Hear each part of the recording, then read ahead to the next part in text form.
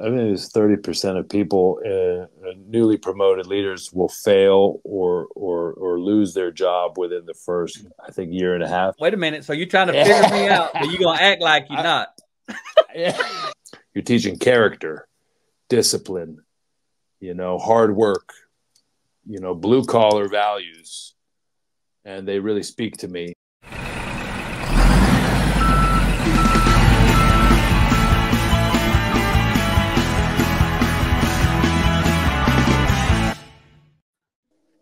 Hello, and thanks for listening to the Blue Collar Leadership Podcast today, or or maybe you're watching on YouTube. So if you're a regular listener of, of the podcast, I uh, just want to remind you that if you're listening to this, it's also available at this time on Blue Collar Leadership on the YouTube channel, and that's uh youtube.com forward slash at Blue Collar Leadership, and you can go watch it. If, if you want to see how how good looking uh, my guess is today. All you got to do is go get on the video. So with that, I'm gonna go ahead and introduce you to Mr. Matthew McGrath. It's a pleasure to have you on today, Matthew. Thank you, Mack Story. It's a real pleasure for me to be here. It's really exciting to join you on your podcast. I've, I've listened to and watched your podcast several times, and it's kind of surreal to be here with you. So it's very exciting. It's cool, man. I'm glad to introduce you though to the audience and, and thank you. And t- uh, if you don't mind, if you'll just share, you know, how do how do we how do we even come to know each other? Because you don't live anywhere close to me, so you share where you where you live, where you're coming from, and and how did how do we even come to know each other? All righty. So I'm I'm actually in Zagreb, Croatia right now, and I've lived in Croatia for the better part of 20 years. I, wow. I had a four four year stint in Berlin, Germany, um, but uh, 16 years in Croatia. So I left the United States in 2004. Okay. And you and I met somewhat recently on LinkedIn. So that's the power of uh, technology these days. And everybody, even across the, the world, on the other side of the world, is like a next door neighbor when you're yeah. on LinkedIn. And, and I had been liking some of your posts. And then you sent me a message. I think I got it around midnight or one, but I have a small uh, child, so I was awake, and there was a really nice and warm greeting you sent me with some links to some free chapters to of your book and some resources, and talking about how you support your network. And oh, yeah. then I, I just I, I clicked on one of those links the next day, and I put on one of your podcasts there, and you you were going through one of the chapters in your books, and then you said something that really spoke to me very deeply and you said something uh, like this. It was um, i want you to know whoever you are out there that I, I love you unconditionally and i want you to have a better life and that i'm doing this because that's what i'm about and that's what i want. And you had mentioned that you you read every day for half an hour and that you really don't like reading and that you do that every day for I don't know 12 or 15 years, however many years it's been, so that you can help people better. Yeah. And that just really resonated with me because there's so many people out there, there's so many voices and so many um, you know, the leadership development field or any kind of business consulting and thought leaders, there's millions. Yeah. And I just I I heard some the words that I feel in my heart come out of your mouth. When you said that, I said that that's my guy. That's because that's how I feel, you know. And and I I've even used that word love to speak about how I work with people and how I get so excited to to see their progress. Yeah. And um, it's there's no better word than that.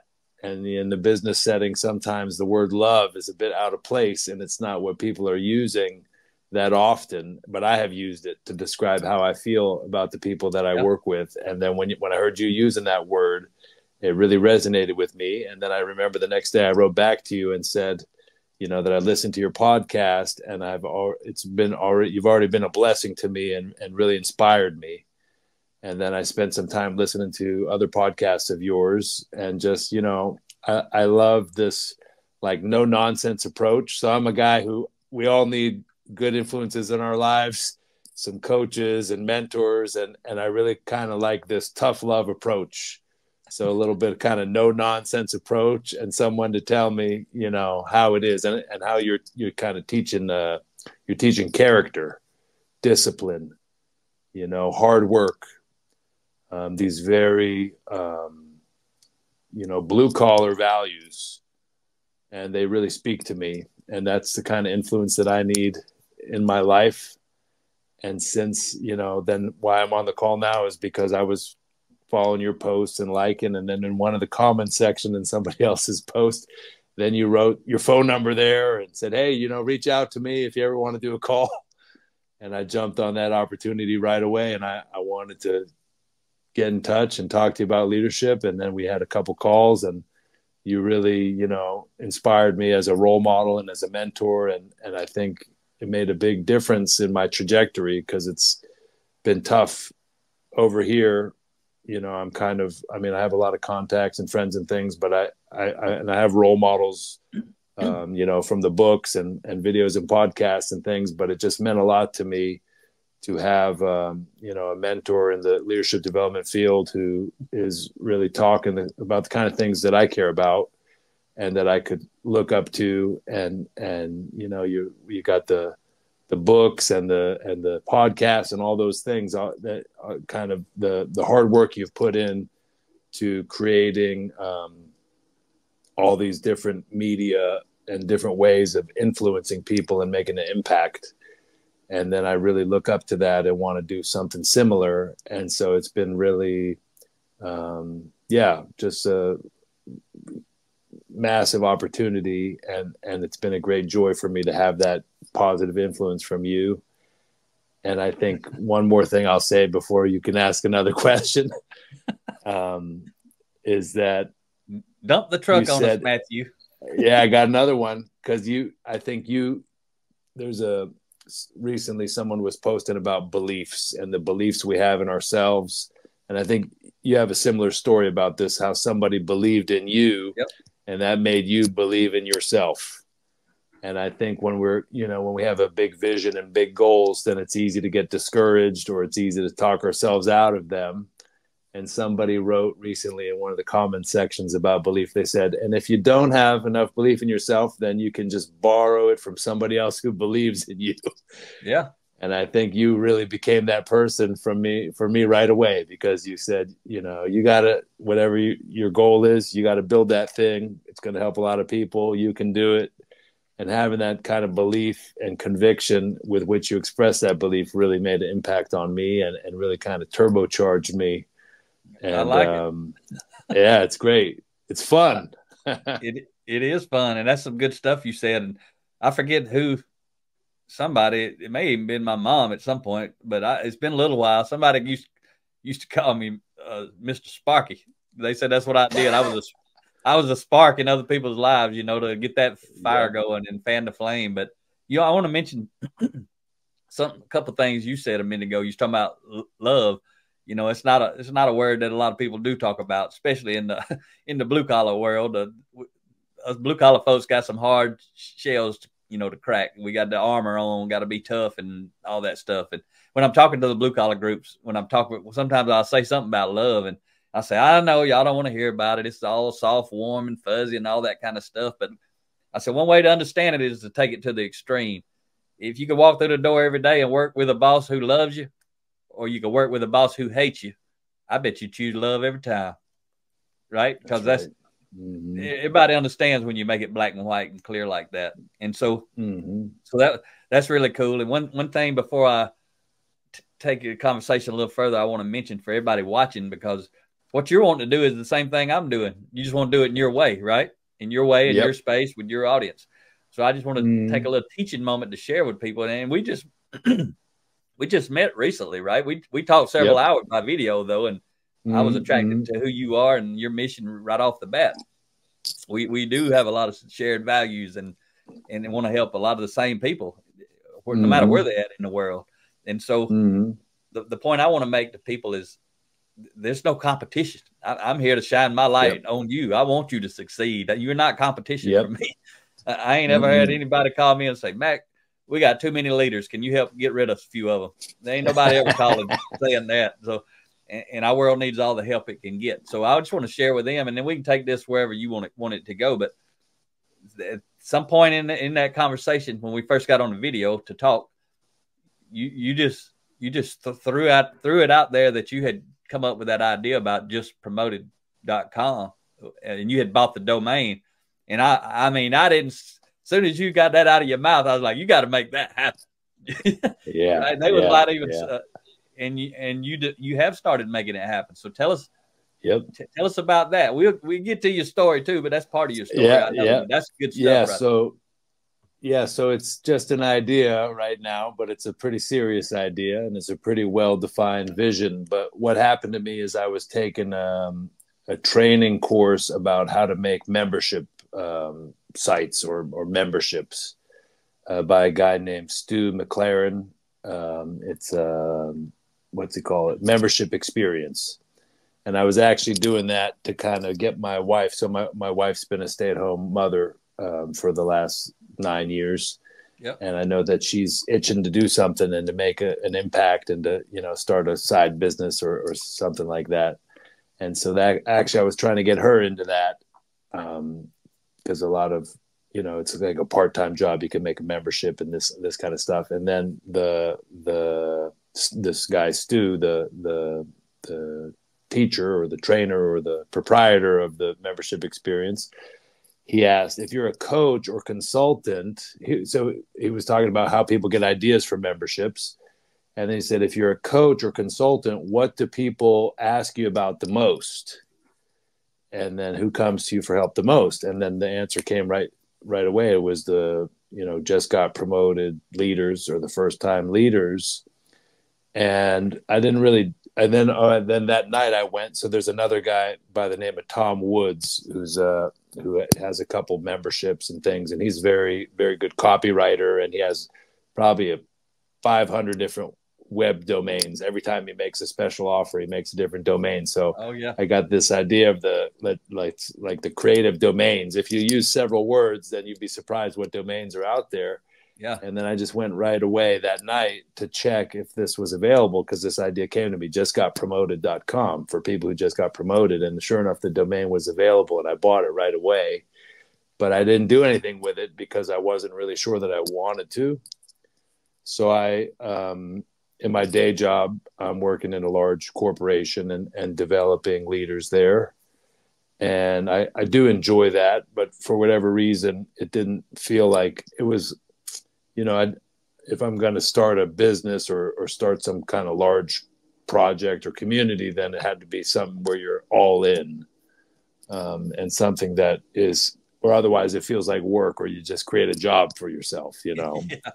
and so then I had to chew on it for a while. But then as, as things progressed, then I started to realize, well, it's not just about if I want to do it or not, but it's you know some of those talking myself out of doing it might be some of these fears and doubts and you know um, as i called it in this recent newsletter that i wrote playing a small game talking yourself out of playing a bigger game put yourself out there and Yeah. you know and so then it, i just and my wife kept saying this and i think it was true and other people if i mentioned the idea to them everyone said oh you got to build that thing because it just is a really good even now people say oh it's a really good domain name is i love it you you got to build that and then it started to feel more like a responsibility some kind of inspiration that's not of your own making and then it's like a calling as they call it right and then it's like well there's people out there and you said this you said I, and this something is just really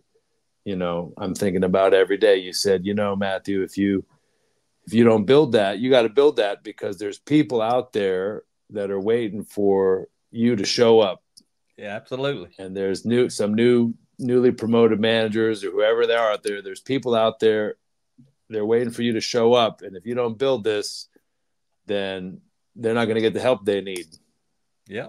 and that really you know made me centered me and said okay it doesn't matter you know if it's me or who it is or how it is or if i know what i'm doing or how to do it. But i really took your words to heart. And i think that's true for all all human beings. We all have you know and that it can change at different times but we all have callings and we all have purpose and we all get inspiration you know like they say the phone rings and are you going to answer it or not Yeah. and I think, you know, different phones ring at different times. And lots of those phones I probably didn't answer for whatever reasons over the years. And so then, you know, even if you miss a few of those calls, they'll still come again. So that some some way in which you can grow and serve and, and impact. Um, it will show up and then you still get another opportunity. And I, I feel like this is one of those calls that I gotta, you know, figure out how to build this thing. So we're right at the very beginning, but I can feel once you get started and get moving, then things start happening. And so, you know, connecting with you, but then I've probably connected with 10, 20, 30 other people just, you know, in the DMs and things. They say, Hey, I really like what you're doing. You know, I, if I can help out, let me know. And then I just think, wow, when we get to the just got promoted podcast and the guest speakers, and I'm going to have, there's a lot of people who want to um, step in and, and, and, and help the newly promoted leaders because a lot of them also didn't get a lot of help and support. Yeah. And I think that's really um, that's really the focus. Or like actually, a guy asked me today. He said, "So what's your niche?" I said, "My niche is the people who don't have any help and any support." so then we we talked promoted. about maybe this who just got promoted. Yeah, no mentors, no good role models and no coaching and no um, leadership development within their companies. So these kind of smaller companies and startups, that's the norm, yep. right? So in a lot of the big corporations, um, you have leadership, let's say leadership tree, where people are developing other leaders and succession planning and you know high potential programs for future leaders and all those. So there are a lot of companies in the world do have all those resources and things, but a lot of companies have not much of anything. And I know you're you're doing the same thing where you're operating in a lot of a lot of places where no, nothing had ever been spent in any leadership development capacity until yep. you walked in the door, right? So you're working also in a similar, uh, let's say, different population, but similar um, deficit for resources and, and leadership development. So I think we we have that in common. Yeah, yeah, and and, and really for me, you know, I we hit it from both both ends because the folks you're talking to, they're my audience too. You know, the the I mean, uh, mm-hmm. uh, my potential client or whatever you want to call it, but but the people who that's what kind of makes it hard for me when I'm speaking and sharing stuff because sometimes I'm talking to the leader who needs to be motivated and inspired to to develop their people because they never have, and we got content for those folks. But then sometimes mm-hmm. I'm talking to the entry level worker or the entry level supervisor or manager that's that's just been promoted and everybody in between, but their company's not doing anything. So I we kind of mm-hmm. hit hit both. But I think yep. you really onto something with but but but even even even your just got promoted.com brand, that's gonna still be awesome because I mean some point someone's gonna have just been promoted to CEO. So you may expand yeah. into the same you know, it may quickly go to not just the very brand new leader, but the person who just been promoted every time you go to a new level, you you got to have you got to develop another level of understanding to lead more people. So probably going to end up we're going to be both kind of doing the same thing but different differently. But the yep, yep, principle yep. wise, it's going to be the same exact thing. And and and our world does need all the, all the help it can get. And, and I just share with the audience that day when you said.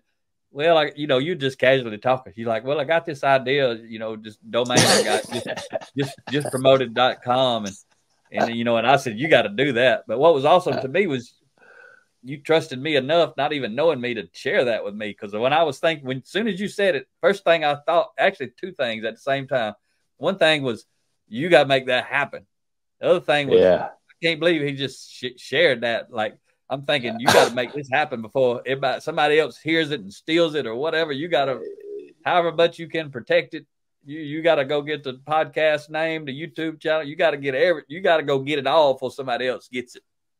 And, yep, and you've been yep. on a mission since then. You've been yeah trying to yep. get as much as you can and get all that squared away, right? Because as soon as you put it out there, I mean, so, we we own so many domains that we're probably never going to use, but they related to our domain, and so we had to right. go pay and keep subscribe, keep these things, you know, keep keep paying up for domains we're really not even using but so somebody else can't right. steal it and try to steal our brand because, yeah, like you said, yeah, it's yeah, it's a lot of work. It's a lot of work to build a brand. It don't happen mm, overnight. And it mm, might happen for you because yours is so mm. good.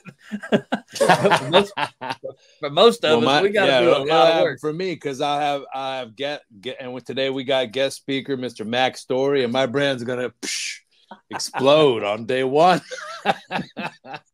but I will be on your podcast if you ever want me or Ria, either one. I know it. Both, I know it. And happy to add value I, I, to you. I was th- I was thinking of you as the first guest, but I hope you won't mind. I want to get my dad as the first guest because now I, I was talking with him and I said, "Man, Dad, you are good, man." So yeah, you but absolutely go with Dad. I told him yesterday, get a pair, pair, of headphones like this, and I signed up for a stream a Streamyard, and uh, uh, I'm ready to go. So I said, "Hey, Dad, we're gonna start as soon as possible. Go get your headphones." That's outstanding. So, you know, and you probably could do. I'm gonna let you share just one second about your dad and why you want him to be the first one, but I already know just a tiny bit about your dad. But you you go mm-hmm. you can do series with him.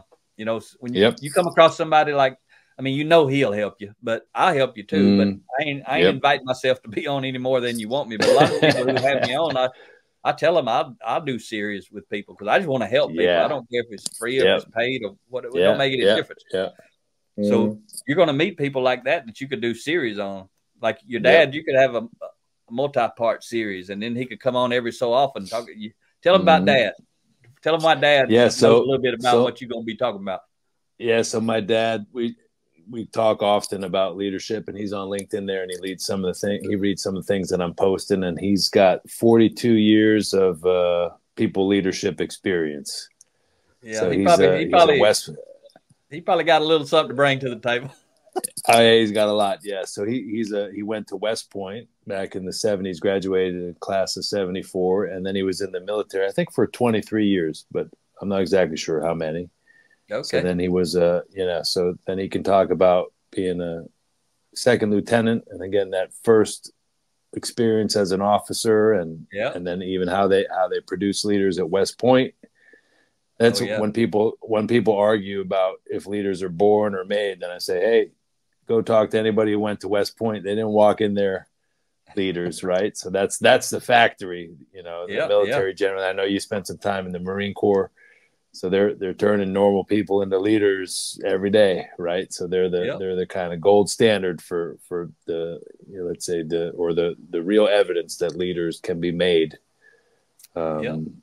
and then uh, so then he he yeah, had a had a career in the military as an officer and and was retired as a lieutenant colonel and then he got to move to the corporate world and he had some you know very um, some very senior executive positions there, reporting to the CEO.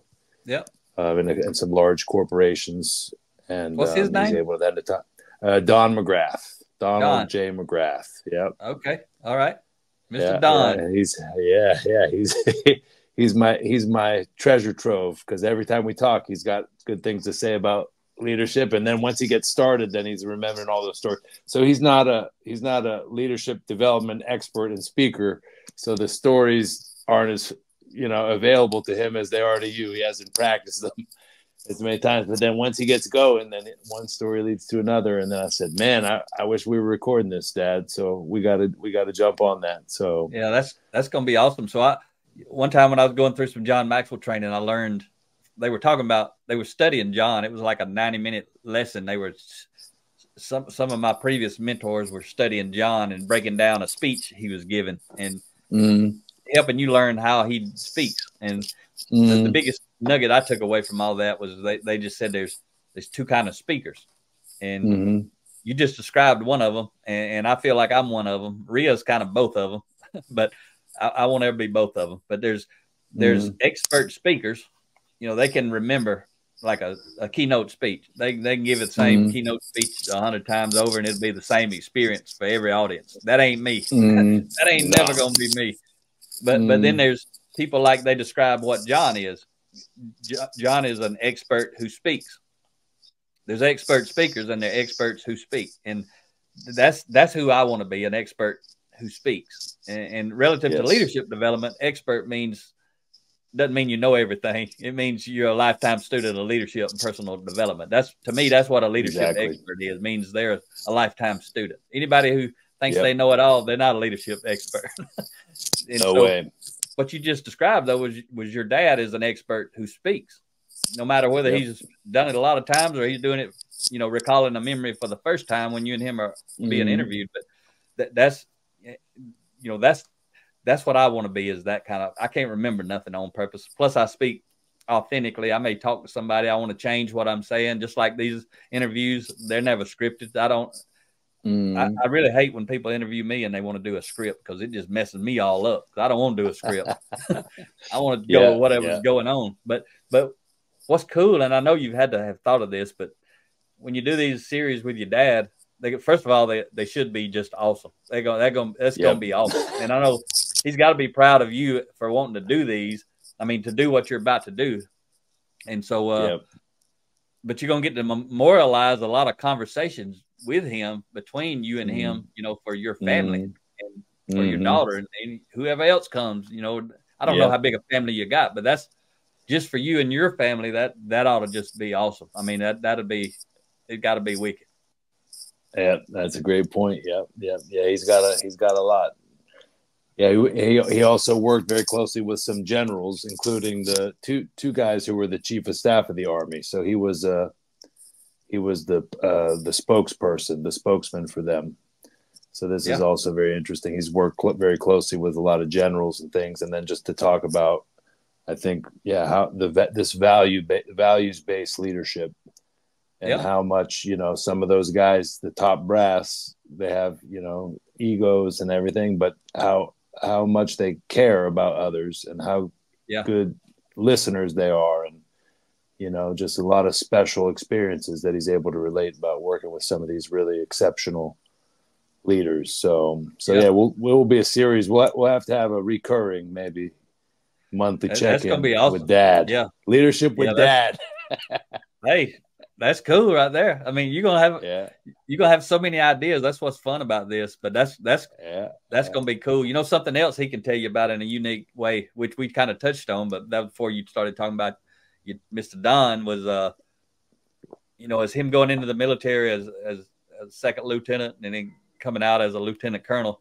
When I was talking mm-hmm. about your your brand just got promoted I mean, he just got promoted a bunch of times, and he can talk yep. to that. You know how yep, yep. You, you, start at the first position, now you get promoted again, and everything you learned before is a foundation, but it, it ain't enough to get you to the next level. You got to grow, develop some more, and so he can talk about it literally, you know, from a military promotion standpoint through some pretty good levels there.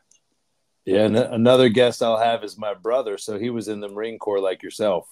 Okay.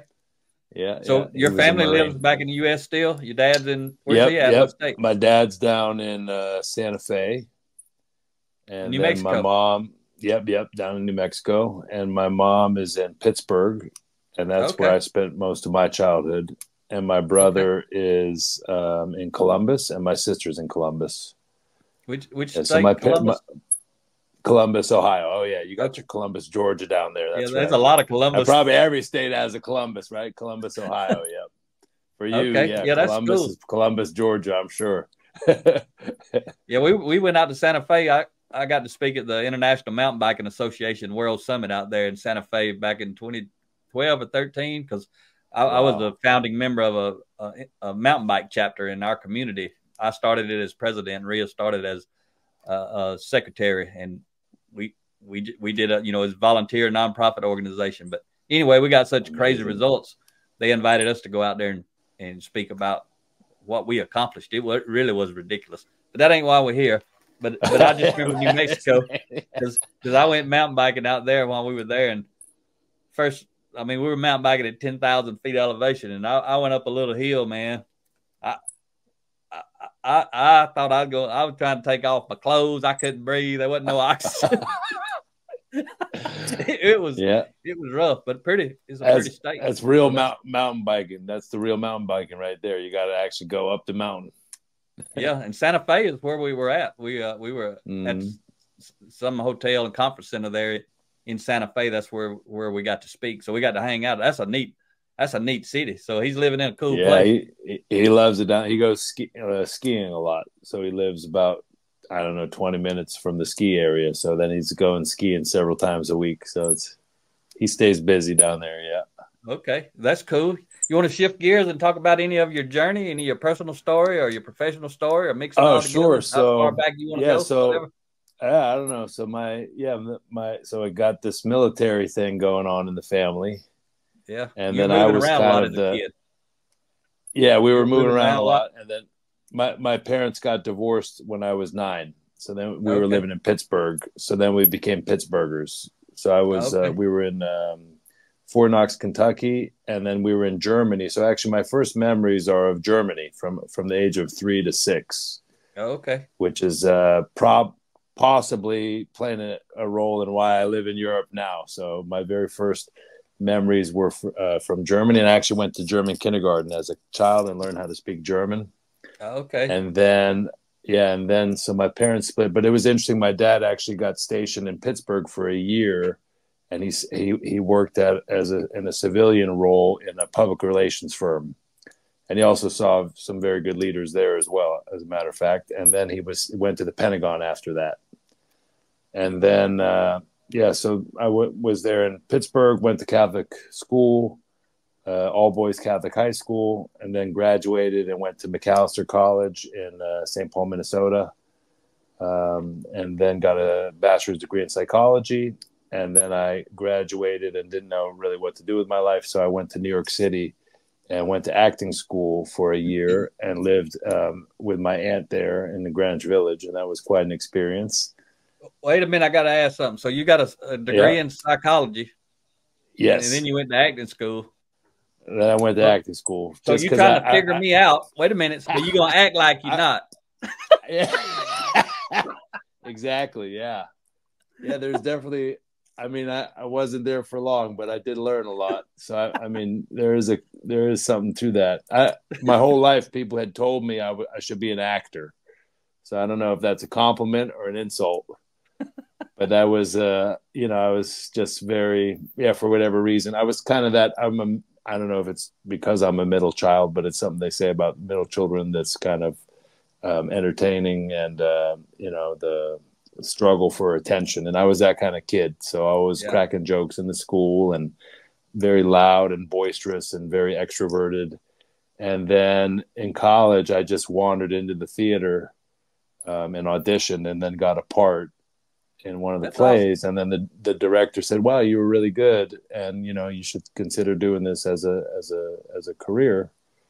And then you know I, what i learned is and i think in the arts it's generally that way that if you don't you have to just like a you know ball- ballet dancer or a classical pianist or whatever it is if you're an artist then you just live for that. Oh yeah. And you need to you know wake up and you're all about that until you go to bed yeah. And so I think I didn't really have that piece the same way some of the other people did. And it's so competitive there in New York City. So if you're, you can't fake it, you know, if you're not about that, then, you know, so then I, I was just kind of not knowing what to do with my life. And then that's, you know, what I was doing while I was going to think about it was then going to be doing the acting school and maybe be an actor. And, um, and then as I was there, I was thinking, I, I found a job then teaching English in Croatia. Okay. And that was just kind of a random idea. So I, I just went to look uh, where I could. So I, would actually, this one thing that I think is very important in my, let's say, development of who I am and my, my life path is that I went to um, language immersion summer camp as a child. Um, my, my two aunts sent me to summer camp in Minnesota, Bemidji, Minnesota, um, to German immersion camp. So that's where I relearned German. Okay. And then this is an institution where they teach lang. You can learn like a year's worth of language or more in two weeks. Wow. How many languages so do you speak, Matthew? Well, it depends how you define speak, but I, I can get around in probably five or six of them. So, but I, wow. I do speak I'm, Croatian very well. That's impressive. I'm still trying to figure out English. yeah, well, my English has gotten worse over the 20 years I've lived over here, but I, I speak, um, my wife speaks even more languages. So, wow. but I, yeah, for me, when I say I speak a language, it doesn't mean that I'm necessarily fluent, but I, I can converse in a few languages. But I'm, I'm, quite, yeah, I'm quite good at Croatian and I'm pretty good at German. And, okay. and, um, so then I, I went to this language camp uh, and worked there for a few years, and then you know I, I, got good at teaching German, so I was pretty confident that I could do a good job teaching English as well. And then when I went to apply for jobs, they were all in, um, or I, I found a, a, a, site that had different teaching English opportunities, and then they were all um, in China and some kind of more exotic places, and I didn't think I was going to go over there. Yeah. Um, but then one, there was one that said "Teach in beautiful Croatia," and incidentally, I'd had a friend, uh, close, very close friend of mine, who was a, a friend from this language camp, and also in college, he was he was at the same college, and he had traveled the world. He, he was a very good student, and he got a, a, a scholarship or a, a, fellowship to travel around the world and study um, hip hop music. Okay. So he traveled to Mongolia and to uh, Senegal and France, all over the world. And, and one of the places he went was in Croatia. And one of the stipulations was that he had to be out of the United States for the whole year. Okay. And so he had, you know, documentary footage of uh, Mongolian breakdancers and and all the and like Croatian freestyle battle and all these different things he had seen. And when he came back, then I I asked him what was the best place, and he said Croatia was the best place. And then the way he described it was, he said, if you if you like greasy meat and beautiful women, Croatia is the best country in the world. Probably a little bit well, like a lot of men over there. Similar, yeah. so then so then he uh, then just I saw that ad maybe a few months after that. So it wasn't the reason I applied, but you know it kind of rang a bell. I said, "Oh, Croatia." Yeah. And then the guy who had had the job there in this small town called Križevci, the guy who had had the job before me, was living in New York City at the time, and so then he met me and he told the boss of the school that I was good to go, and that's how I got the job. They had actually a lot of applications, so just coincidentally, this guy he he was originally from South Carolina but he happened to be living in New York City, and then we met, and then he um, he gave me, you know, he interviewed me essentially, and, and and told the boss of the school, and then I went over there just for six months, and then uh, I said, okay, I could stay on for another six months, and then the boss of the school said, well, if you're going to stay for six more months, then you got to stay for the whole year, and so then eventually I had a year and a half in, and I was I don't know twenty five years old or whatever, and I didn't know where else to go. So then I just stayed here, and then I what so the, how the leadership thing got started is as a 24 year old. Then I moved to uh, Zagreb, that's the capital city here. Yeah, and I worked for a coast, language. By the way, I haven't looked. Is that unfortunately no, no? It's, okay. a, it's the northern curious. part. Yeah, yeah. Okay. So that coast, yeah, the coast is really something special, but we don't live on the coast. But we're considering moving down there. But um, probably the, not that this, far though. It ain't. I mean, the country. No, it's not. Big. It's no, it's not. It's the size of West Virginia. Actually. Yeah, so you can so get there. Not like, that big. You can get there three, four hours, two hours maybe to get to the closest part. So then, I in this uh, language school in Zagreb, then they they worked in all the big companies here, and then they started sending me to teach executives. And so that's then I was spending you know several hours with these highly placed C level managers and very good, very successful leaders who yeah. had 20 you know 20 years of experience and then being that i had this background in psychology then i was you know studying them and not just teaching them english but there were other things that we were working on and then um oh i'll, I'll, I'll plug a book that that helped me on my path there okay. but it's um the um so then one of these students, he, a guy named Tibor Jaeger, Jäger, who was a Swedish guy that was living in Croatia, and he had had some military experience in Sweden. He was a very good strategic leader, and he'd been um, he was running sales um, and business development in different uh, Swedish companies that were active in the Balkan area for yep. I don't know 10, 20 years. And then I was yeah, he said to me in one of these meetings, he said, "You you know what you should be." I said, "What?" He said, "Oh, I can't remember the name. I can't remember what it's called. Hold on." Executive coach. That's what he said. So that was about 2004 or five, 2005. So I was 24 okay. years old, and this guy told me I should be an executive coach. I didn't know what that was, and so then I started trying to figure out what was an executive coach. You know, and back we still had dial-up internet in Croatia, so I got on my dial-up internet and started reading. What is that executive? Oh, that sounds pretty good maybe I could be that. And then actually, so it was maybe a year or two later, I, I found this book, The Psychology okay. of Executive Co- Coaching by, by Bruce Peltier.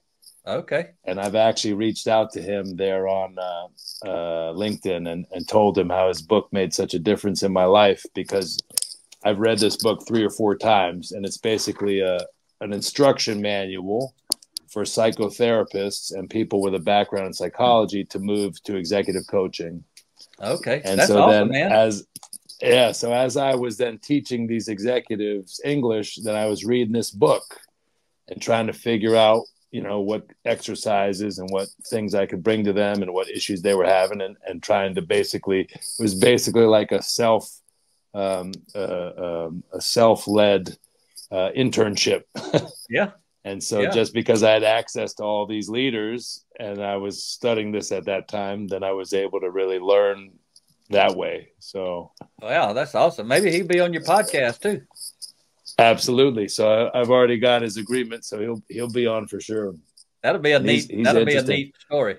That'd be really neat. Yeah. That'd, that'd kind of be like if I if I would have ever had the chance to have Dr. Covey, author of the Seven Habits, on my podcast. I mean, he passed away exactly. Yep. You know, a long time ago, but kind of be similar if I would have ever had that opportunity. That would have just been awesome. So you're gonna get that yep. opportunity. Yeah, I'm going to get that opportunity. Yeah, and it was he was just really surprised because he's he's not you know he's there's not you know YouTube videos and things of him. He has his website and he has his resources there, and this book you know is quite quite amazing. So I think everybody who's interested in coaching or and actually interested in psychology, so it covers all pretty much all of the schools of thought in psychology. So for people who are who don't know so much about psychology, it's also you get kind of the whole let's say bachelor's degree in psychology just from reading one book. It's like an intro to psych text. That's awesome. Way. That's awesome. Yeah. You know, I got my degree in, in uh, just I got got the easiest degree I could get with a, biz, a business degree, but uh, I took all my electives in psychology because I always was just interested in that. And amazing. And that's what I always tell people is to me, leadership is nothing more than the psychology of influence. I mean, that's what it is. That's right. I mean, this that's what it is in essence. I don't know yep. if there really is such a thing as that, but there should be. but but oh, if yeah, there's not, is. what there it is, is is leadership development and personal growth and all that sort of stuff is is. I don't mean do they do you know? I don't I don't know. I've I've never heard of a like a, a degree in the psychology of influence or something, but they, well, they should. I be. was looking for another book to. to oh, here here here it is. Hold on one second. Okay. We'll we'll, we'll, plug a few books because this is actually uh, one of the I'd say it's one of the top business books that lots of people are familiar with. That's the Psychology of Pre-Suasion. There, that's uh, Bob Cialdini. Yep, I've, so read, I've, I've read that one. I'm actually reading his Persuasion book now. Have you heard of that book? I've heard of the book. I haven't read it though. Yeah, so that's kind of influence. It's priming people to be influenced, right? Something yep. like that.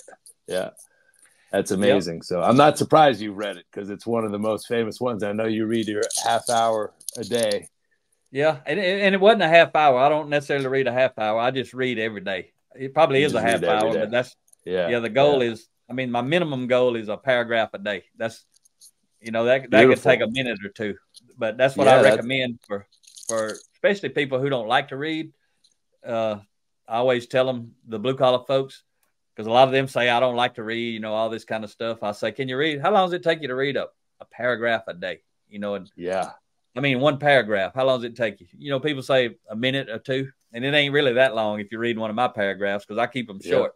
Yep. The book's short, the chapter's short, the words are short, the, the, paragraphs are short, the sentences are short most of the time. Ria says sometimes they're too long, but most time they're they're, they're pretty short. But uh, that's just a because it's a goal people can keep. They can commit keep that commitment of.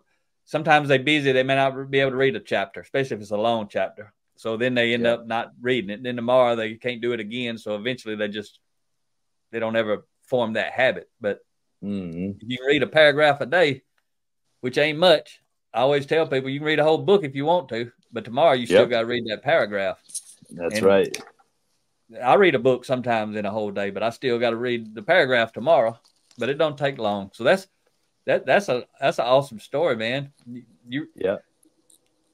I mean that, that's, that, that's, that's neat that you're doing that, and you got to interact with all those executives, and then you got into that book, and So continue on with your story. Yeah, well, I, well, there's another thing we have in common because I also like to read a, a paragraph at a time sometimes, but it's because sometimes those thoughts are so deep that I just space out. I'm like, oh man, I, this is heavy. I can't take anymore. so I, will just read that paragraph because otherwise I'll forget it. Sometimes, you know, if you're reading the right books, you might find something that's so powerful as an idea that you just want to absorb that or even to go act on it. So sometimes, yeah, just reading actually a quote or uh, you know a couple bullet points. I mean, there's all kind. You know, reading every day, like you said, is great, but definitely sometimes less is more. So to read, yeah. just read something and go act on it. Yep, and then so, I yeah, post was, a lot. So I, I yeah. read a lot of my posts. I read a lot of other people's posts, and so That's I'm right. reading. Yeah, I'm reading all the time, more than most people. But but all you got to do is a little bit. So go ahead. Yep so yeah, that's it's quite amazing what's happened on LinkedIn. I, I, didn't realize it was such high quality stuff happening there every day. So there's I learn a lot by reading those posts every day. So yeah. So yeah, then with the story, so then I actually founded my own company, but I, I didn't I didn't do it for um, I didn't do it as for business reasons or impact or any any other things. I just needed to get papers to stay in the country in Croatia. Oh, okay. And so then having a company was the only path, oh, or getting married. So I chose to open a company instead of getting married. and then you so got there married. There was no later. other way. Yeah, I got married later, but to a Ukrainian wife. So yep. it didn't get me any papers for Croatia. So this is always ah. a constant issue figuring out how to get the papers. So then at that time, I opened this company, um, but it was just it was n- not really to do business, you know. So then I, I spent my 20s having this company, but it was basically just owning my job. So I was able to work just uh, myself and my customers, and I, you know, I was still doing English teaching, and then slowly pivoting into coaching and some soft skills training and these kind of things. But I, I think you know, I was I was very much enjoying the work, and it was very good work. And I think yeah, when I speak to the people these days. You know, some of them still show up on LinkedIn and things. So I, I did make a lot of impact on those people, but I never had the urge to find more of them. or to market okay. myself or to put my my my and i don't know if that's probably related to just fear or insecurity or these different kind of um, self-limiting beliefs so that's um oh I, wa- I wanted to mention marshall goldsmith as well because today's his birthday actually and i made a post okay. about him so yeah so he's my other virtual coaching mentor because at, at that time when I was reading um, this book, I was reading every Marshall Goldsmith book and watching and listening every podcast, every video. So that was a few years later when when YouTube existed. But it, I think the first time I saw him was he gave the talks at Google, and I must have watched it 50 times. So that was the other way that I learned. I didn't realize, you know, things like coaching certification. So I, I did end up taking the Marshall Goldsmith. Uh, training program and getting their okay. stakeholder centered um, certification later.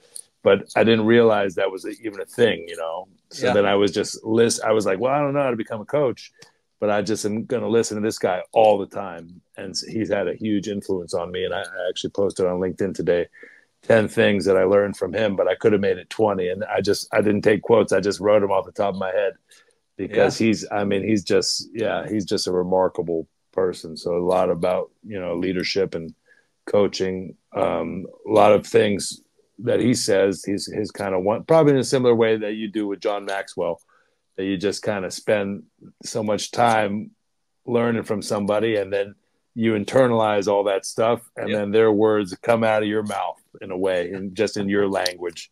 That's right. And that's what Marshall Goldsmith has been for me. So yeah, man. So yeah, awesome. he's had a huge yeah, so today's his birthday. So happy 75th uh, birthday to Marshall Goldsmith.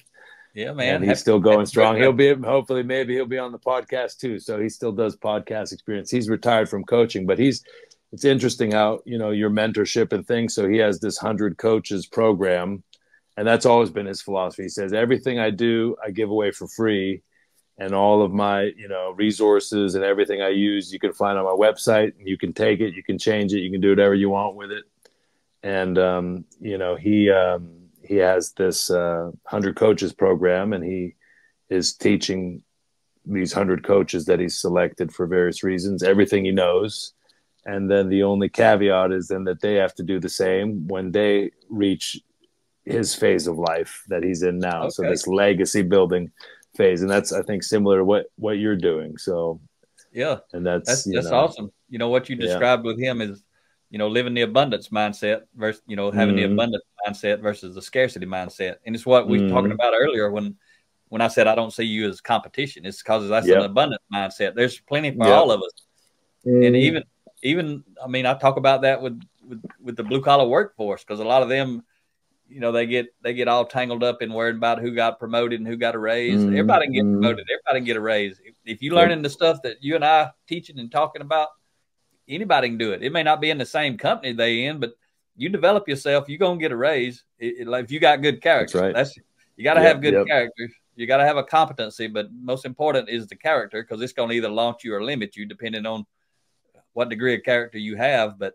you know that's part of my message to the individual worker is you, you decide when you get a raise. It ain't got nothing to do with the boss right. when you get a raise. It's up to you. If you got a bad boss, why yep. you got a bad boss? I got to ask you something while we're right here. Uh, yep. And I don't know if I'm interrupting your story. Uh, you sound like that's you right. finished with your story. No, all, yeah, yeah but we can go. We can skip around. Any anything's good. I just you you on a good rhythm though. I don't want to mess it up, but I want to make sure I ask no, you this. You gonna you gonna like this yep. question? I remember where I left off. Okay, so you probably you probably got you probably got this on tip of your tongue, but all right. But you on the podcast, you going out to the world. This is you know you can use this to promote yourself and who you are too. But what's what's what's your what's your number one tip for somebody who just got promoted? Oh man. Uh, well, this is also borrowed from Marshall Goldsmith, but it's to to be humble. Oh, that's be humble because that's where your learning is going to come from. And this is also something I, I heard from a friend at one time. He said, "Yeah," he said, "You know the." the leaders who overestimate themselves and underestimate the difficulty of their job, of the new job, do the worst. And the ones who underestimate themselves a little bit and who overestimate the difficulty of the job, they do better on average. And yeah. so then I often close my posts on, on LinkedIn with that message stay humble, read some books, find a coach, find a mentor, listen to some podcasts and that's i think you know that that humility and that ability to say hey I, i'm a beginner i don't know it's not something that every leader that gets promoted has because they've succeeded in their prior roles and then they think well i'm good at everything i do. So how hard can this leadership stuff be right? And they kind of just see that as a continuation of what they're already doing when in actuality it's a brand new career and it's a brand new job and it's a it's a brand new thing that they might be good at it but they don't know yet. Right? Yep. so and and the other thing is i say well if you have willingness to learn and you lead by example then i don't even care how good you are you will get good eventually right so you need that that's pretty much it willingness to learn lead by example and some let's say accountability so this like character stuff that you talk about. So the ability to do what you say, and that's pretty much it. And then I always tell people, I don't, I don't care how good you are, because people say, ah, you know, that person they don't look, they don't have, you know, certain social intelligence or communication skills. I say that's that's fine. Do they do they have humility and desire to learn? And do they, you know, have the ability to lead by example? Because maybe they were a great programmer or whatever they are and do they have this the will to lead so the will to lead to me means that let's say as i think maybe it's even a marshall goldsmith phrase this enthusiastically embrace their personal growth and leadership development right so yeah. then you know what i'm talking about when you see people like that that's the ones you're like oh that's that's the kind of person i want to work with Yep. In, right. In, in, my country language, my my simple language, I call that hungry people. That's people yeah, I'm looking hungry. for. Uh, those who are hungry for growth. That's that's my people right there. I don't care what level they are. I don't care how yep. maybe bad their character is at the moment. I don't care their yep. history, their story. I don't care nothing about mm.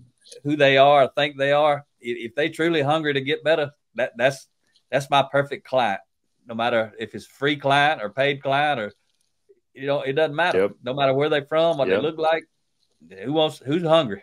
That's my that's yep. that's why I latched onto you. You you you're very yep. successful. You've accomplished a lot, but you're hungry. You're hungry for the yep. to climb yep. to the next level and beyond. That's why we connected. You you hump all those things you just said. You're those things. You're yep. humble and you're hungry. And I'll give you a quote to take with you. And, and, let me just say that question I ask you, I don't get credit for that. I ain't that sharp at the moment. That come from Ria. She, if you saw me look away earlier, she come in and brought me a sheet of paper and said, said, ask him that question you know, ask for some number one tip for something. But that was a good question, you know, and it'll be a good yep. plug for you. Just that little snippet, yep. that segment. But I want to make sure I give her credit mm-hmm. that that was her question. Mm-hmm. I asked it like it was it's my a good question. question. But I wanted it to sound right when you gave the answer. But now I want to make sure everybody knows she's helping me look better. That's what that's what that's what we do for each other. You know, help you know your spouse, help help them be better. So that's good I stuff. I'll share a quote with you though about humility. It was from, come from uh, Warden Burl Cain. He was a prison warden of uh, Louisiana State Penitentiary uh, prison system. Wow. Prison. It was when he took it over. It was known as the bloodiest prison in America. I mean, it was so bad. It was mm, bad, mm, and it's like mm, I can't remember four, six thousand people, five thousand, a lot of people there. But he took over. He he he had zero experience in the prison system. I think he was a teacher, if I remember right. Mm, He was Hmm. a he was some in in some kind of in ed, in education. He may have been a teacher. He might have worked his way up to be you know like an executive or something in the, some type of education system. But he they basically recruited him to to go in there. But his quote. We, we met him in San Quentin out at uh, San Quentin out in California at the prison out there. Ria and I were doing a lot of we were doing a lot of speaking with prison wardens at that time. They were going through a transformational program, and Ria was a part of that, and I was there for that. But I met Warden Cain in the uh, actually in the uh, in the church there in the prison. We were sitting by each other, and he said, he said, you know, I used to always tell everybody, you got to be humble, or he'd say, be humble so you don't stumble. And, and that was Beautiful. that just I like that line. I ain't never forgot it. Be be humble so you don't stumble. Warden, his name's B U R L Burl Kane C A I N E. I Mm, believe it is. mm. He's got a book. Somebody wrote a book about him. Anyway, that's Mm. pretty interesting. Let's get back to your story, Matthew. I I got a sidetrack, but it was good stuff in there. That's all right. I, I like the sidetrack. That's a great quote there. So, because you can't forget that one. Those, those are the best quotes, No, that's a good one right yeah, and I, I think this when you were talking about working with hungry people. So this is another Marshall Goldsmith thing. One of the things that I posted today in honor of his birthday. He says he asked, uh, um, oh, what I can't remember his name, but the guy who was he was the CEO of Boeing, and then he became the CEO of Ford. His name was Okay. uh, Alan Mullally. Alan Mullally is his name and he said he Marshall realized the client that he spent the most time with improved the least, Mm. and the client that he spent the least time with improved the most. And that was Alan Mullally. So then he always is joking. He says, so then inverse, there's the inverse relationship between success and time spent with Marshall Goldsmith. And then Alan Mullally told him, well, Marshall, if you choose the right clients, you'll always succeed. And if you choose the wrong clients, you'll never succeed as a coach. and that's what you're talking about, finding those hungry guys. Yeah. And then the other thing he says that's really beautiful and humble, he says, if I'm the best coach in the world and you don't get better, then who cares? and if I'm the worst coach in the world and you do get better, then who cares? It's not about the coach. And this There is so important because people ask me all the time, can you do this? Can you fix this person? I said, no, I can't, but I can tell if they're coachable and I can Yeah. try to select the good people. I can say, hey, I, I don't think this person's coachable. I don't think I can help them.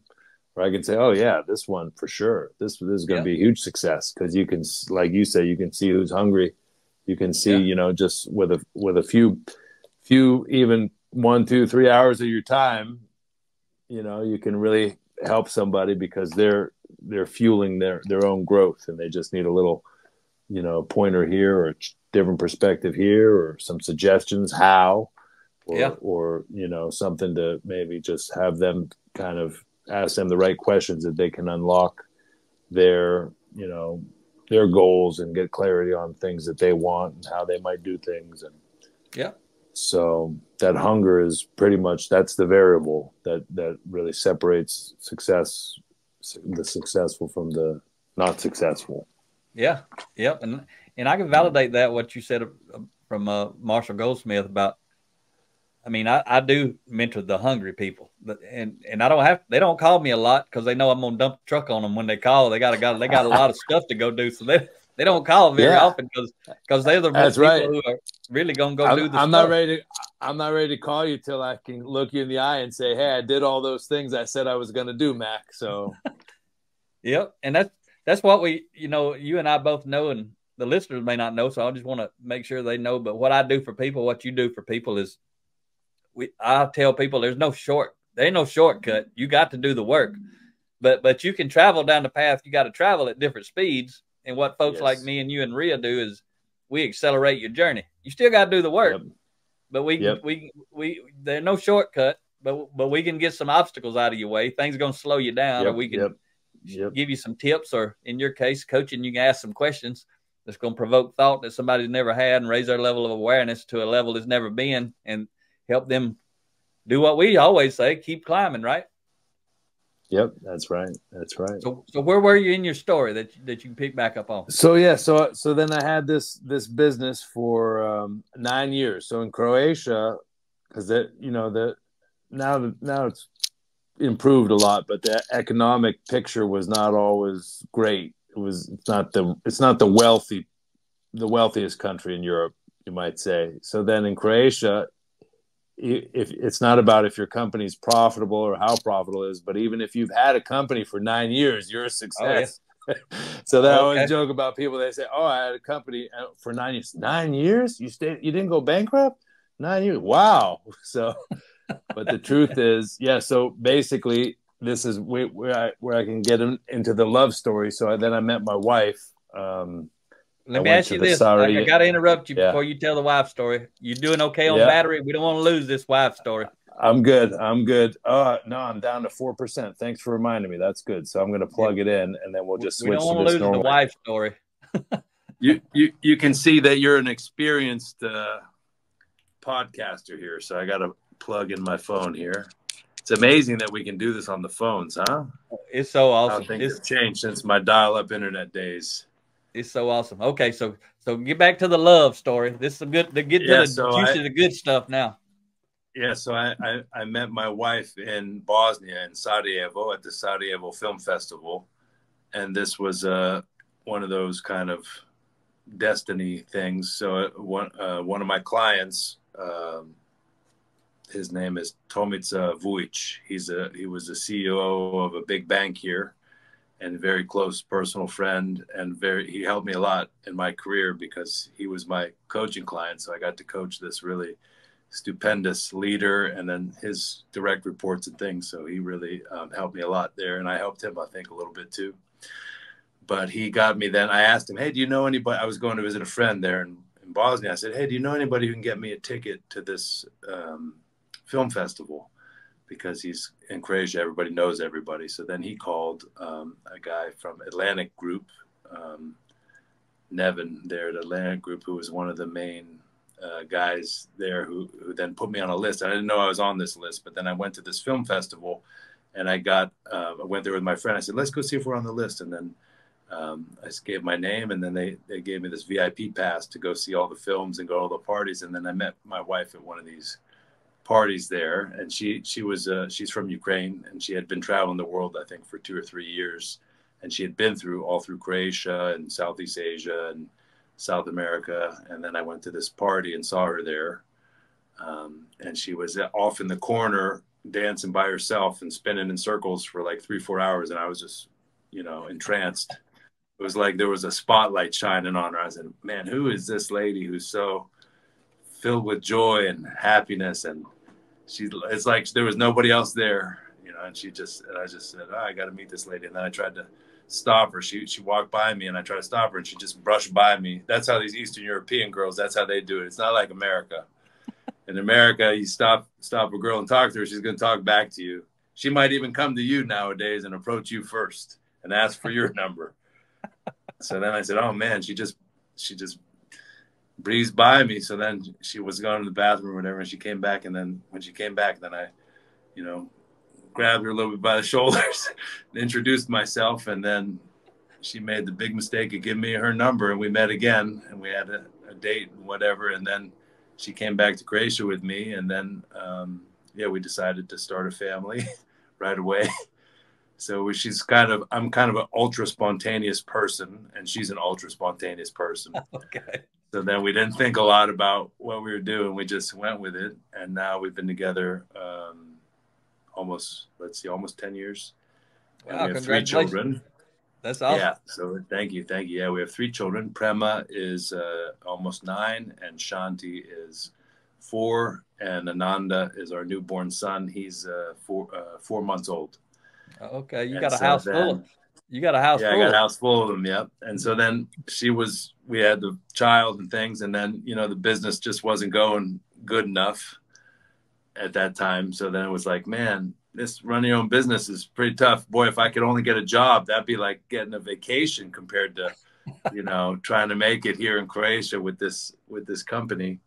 So then I was very fortunate. I, I applied for a few jobs. I was applying for jobs in um, Berlin because it was one of the favorite cities I had been to, and then I think Czech Republic and Spain.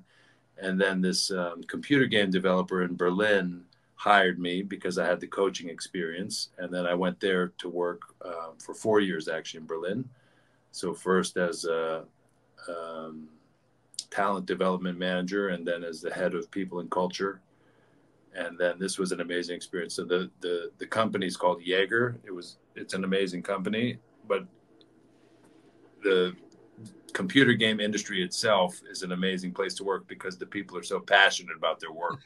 yeah. So you have like 110% engaged people because they they love video games and they've been making them playing them their whole lives. So that was really yeah. special working with them.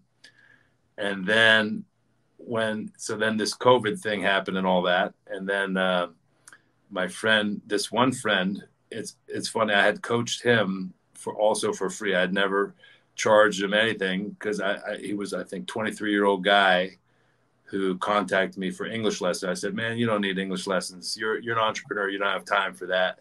so he said, "I've never spoken English this long in my life." He's talked to me for 40 minutes. It's good enough just go with it. But I said, if you ever need my help, you know, feel free to call me.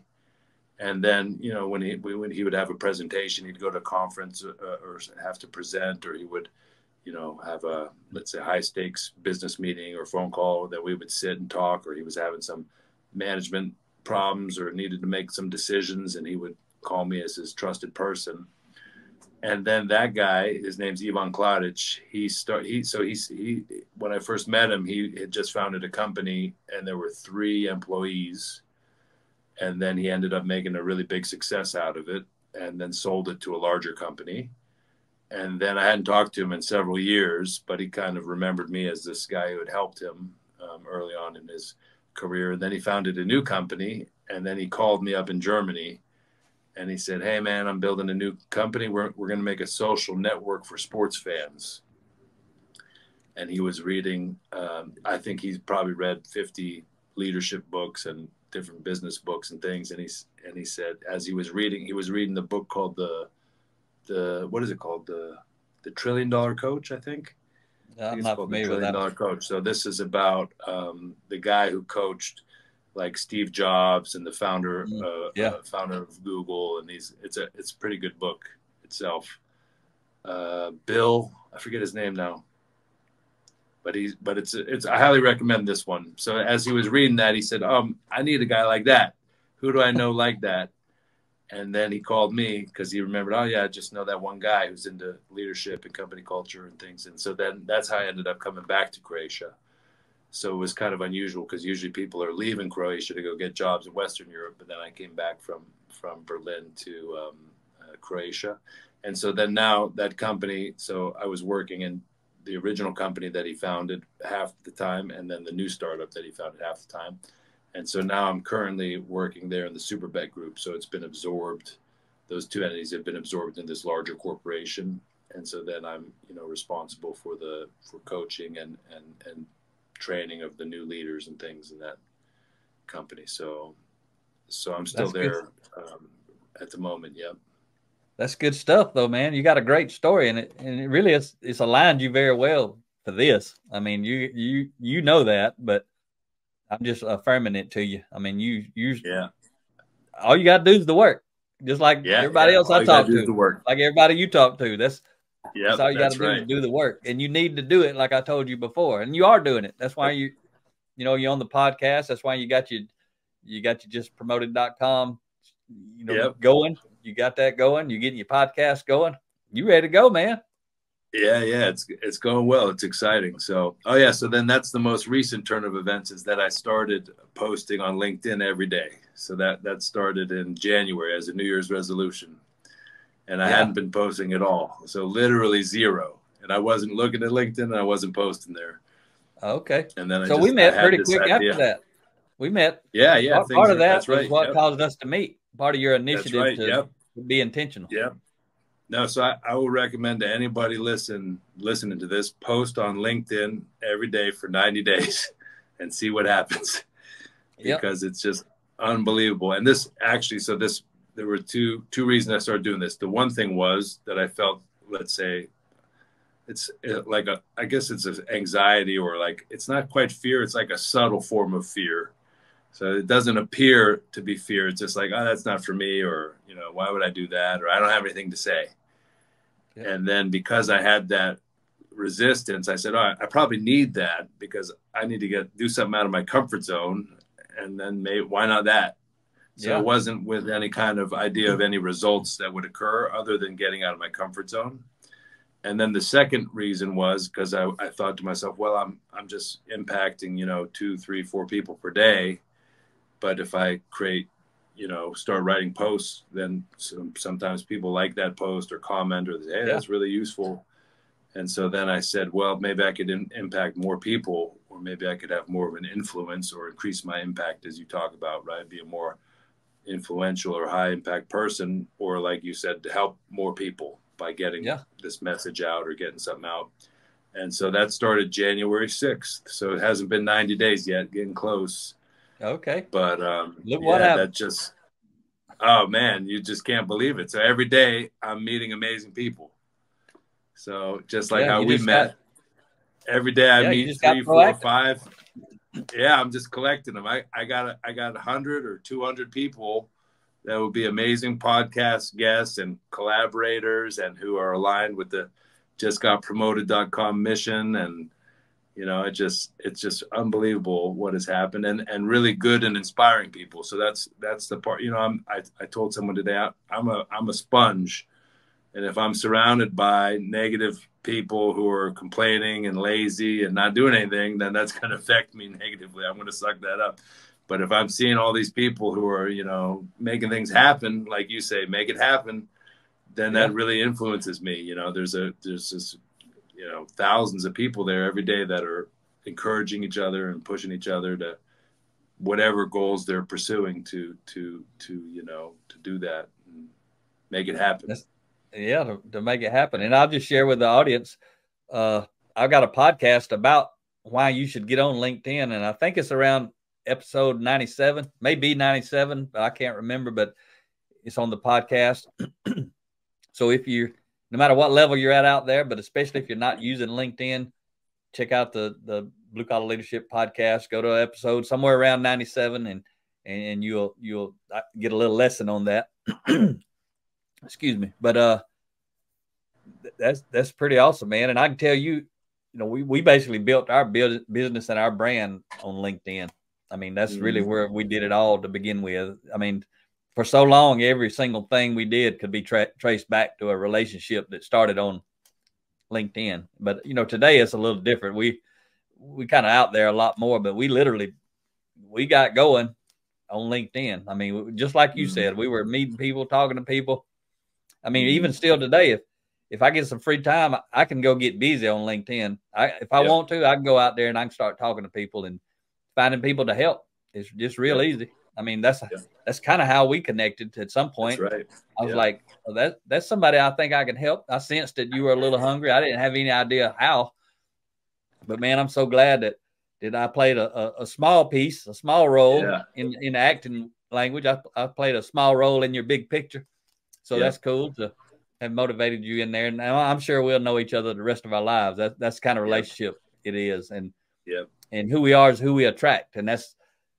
that's what we we're going to do and trying to help other people do that. So, is there anything you haven't said you want to say, or anything well, like I'm, that? I'm glad, I'm glad you set you set me up there because I, I made I made a note for what I wanted to close with, and it's the topic of mentorship. Okay.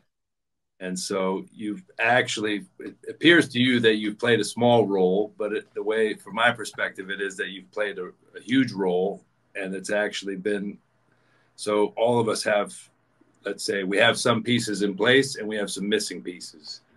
And that mentorship piece, so someone who who we can look at and say, I want to be like that guy, the yeah. thing that he does, right? So the so the coach is the person who's a professional coach and helps you get through your obstacles. But the mentor is the one that you can look at and say, well, whatever he's radiating, what he's doing, you know, I want to be like that.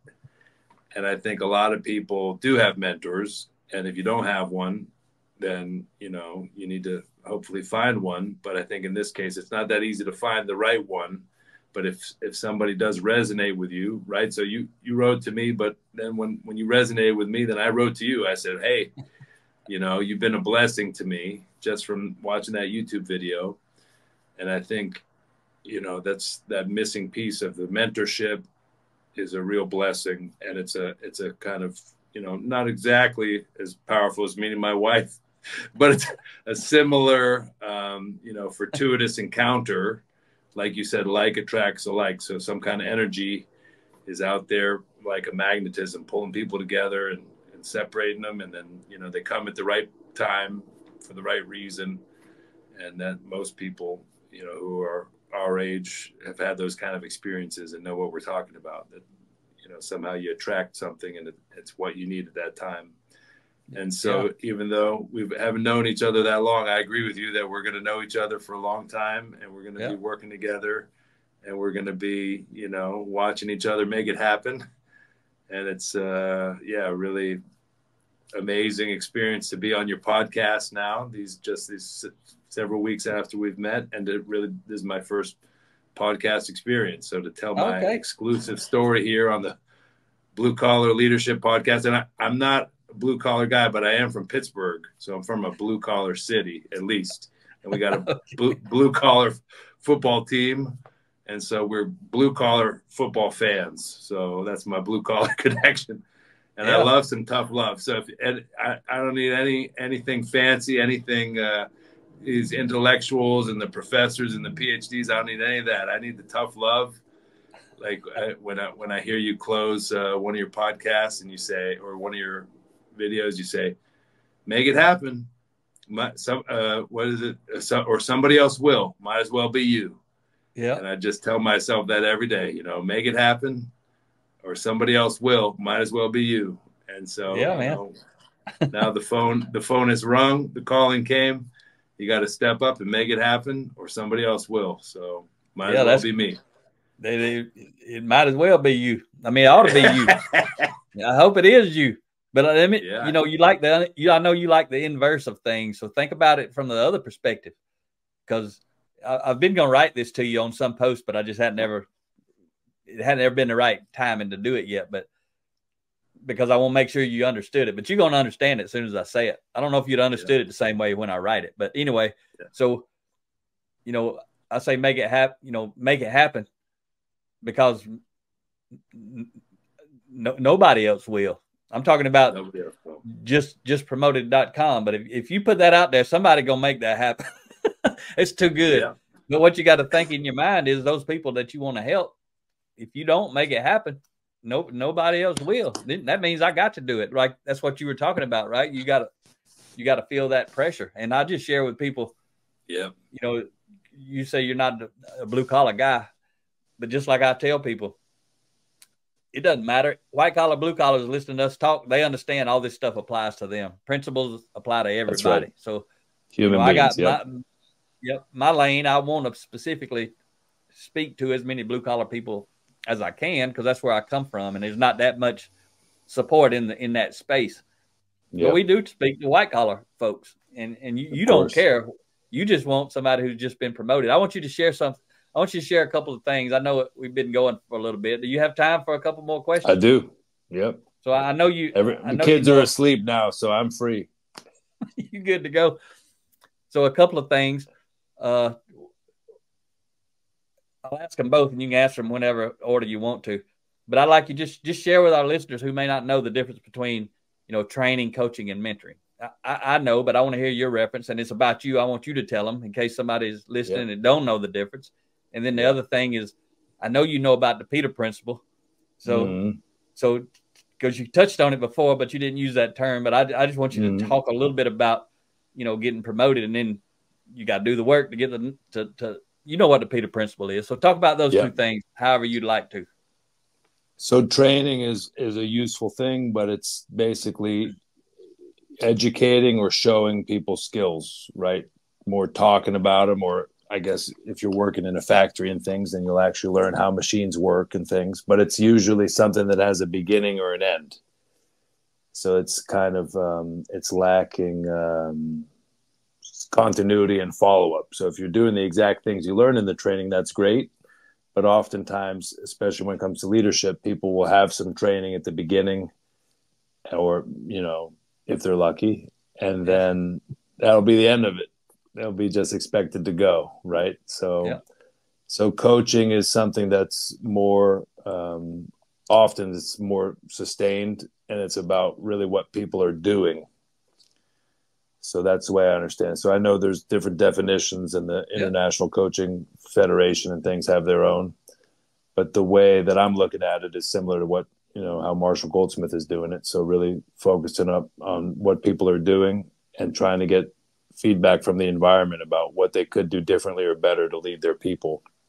And this is a little bit different than the ICF coaching, but I spent a lot of time, you know, making sure that people, let's say, get a 360 or feedback from their people, and that we try to figure out really what's their leadership bottleneck, as yep. as assessed and determined by their by their direct reports and then okay. yeah so that's one of the main ways in which i work so do i do a lot of different kinds of coaching but that's let's say the most impactful is really trying to help somebody get around an obstacle or you know it could be a skill gap so then we learn some skills and things around that but ultimately it's something that's individualized and it's and i'm kind of bringing this let's say view of sports coaching so it's taking a yeah. high performance person and trying to figure out how to enhance their performance and Similarly, when a when a when a coach, a sports coach, is working with an athlete, it's going to be a very different approach for different athletes, right? Depending on what they need.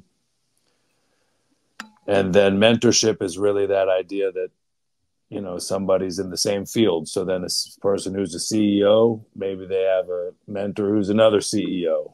Yeah.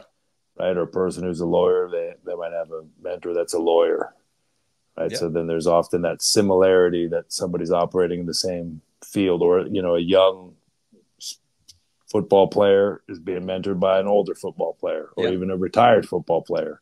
Yeah. Right. So that there's some kind of um, there's that role model in there. So I mean, some people who are not coaches might see me as a role model in some ways, but it's different when a when a when a programmer um, is working with me, then they don't want to be a coach, most likely.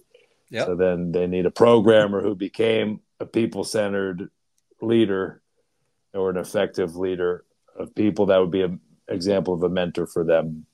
Okay. And ideally, when people have, I mean, it's a blessing when it occurs, but it does happen that people have their direct manager be a sort of mentor. And I think you, you mentioned you had a situation like that, but not that often, yeah. right?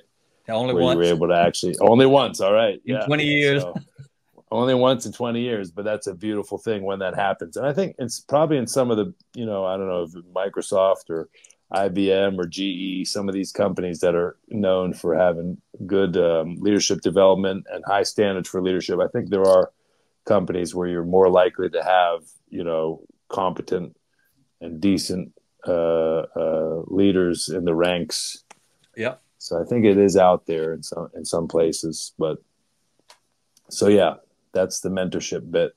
Yep. So but that, basically, I, I, think one one one of the main things that Marshall Goldsmith is known for is this um, leadership as a contact sport. A study that they did with follow up, so yep. that people, if if they're getting like a if you get a 360 or if you have some training or something and there's no follow up, then there's a lot less. It's a lot less likely that you'll improve And so then that key variable. So if we send out every two or three months a survey, like, did Mack get better at X, Y, and Z?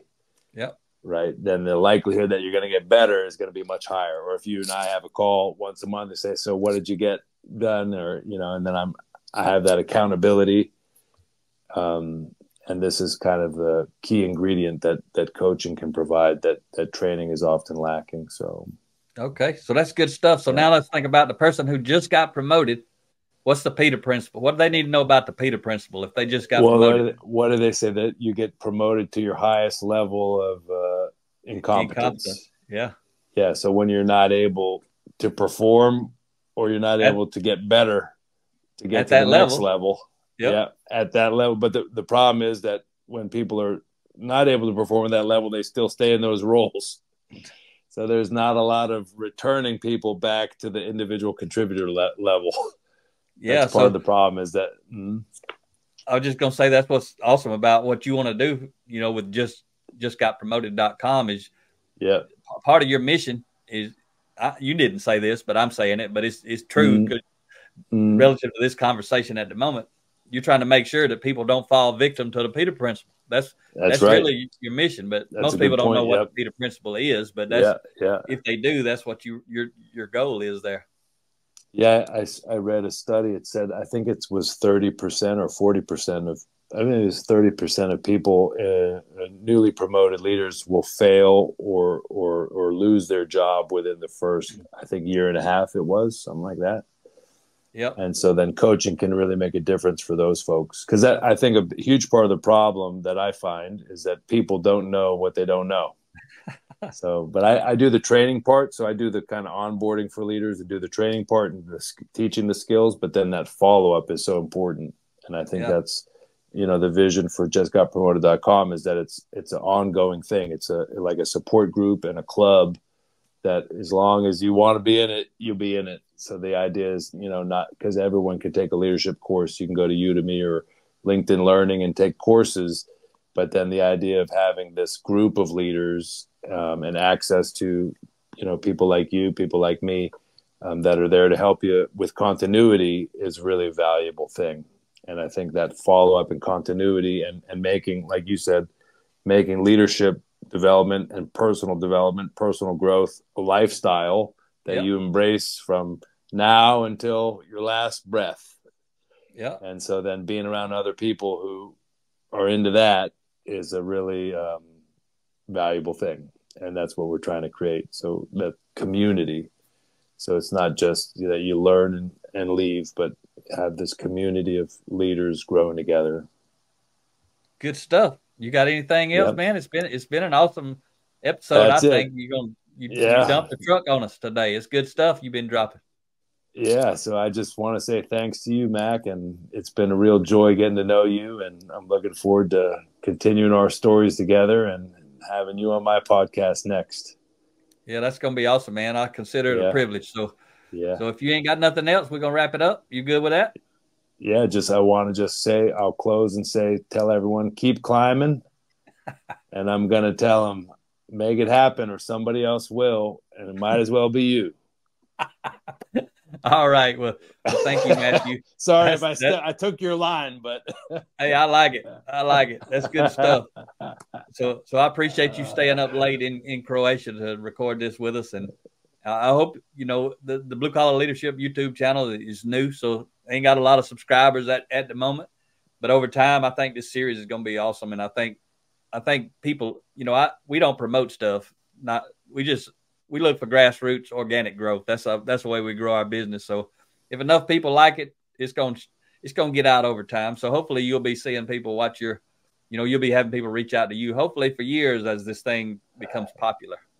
Yeah, I hope so. It's pretty exciting. Podcast number one, and hopefully what will be many, many podcasts. All right.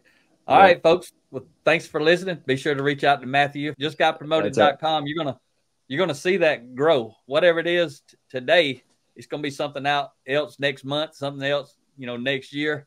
So because we're gonna put the pressure on Matthew, he ain't letting off the gas. He gonna build some kind of big brand out of this thing. So that's right. You guys dive, dive into it.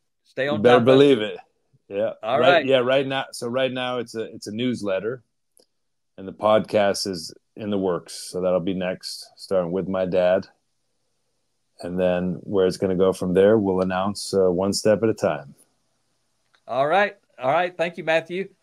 And everybody you, who's Mack. listening. Yep. All right. Thank, thank you, you, Ria. Yeah, Ria's in the background making it all happen, right? Yep. She does a good job. M- most of the stuff I do, if it wasn't for her supporting me and helping me, it wouldn't get done. I wouldn't I be doing it at all, a lot of these things. yep, all right, yep. folks. Hope you enjoyed today's episode. Talk to you next time. All right. Thanks a lot.